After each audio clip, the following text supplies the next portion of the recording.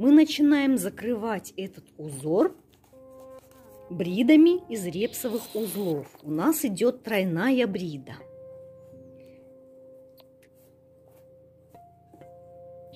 В правой руке шнур основа, левой наплетаются репсовые узлы, близко-близко к узору квадратных узлов.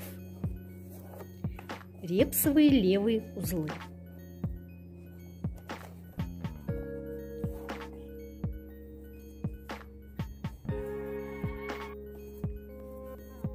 Брида должна получаться ровной, поэтому натяжение шнуров при плетении нужно соблюдать очень четко.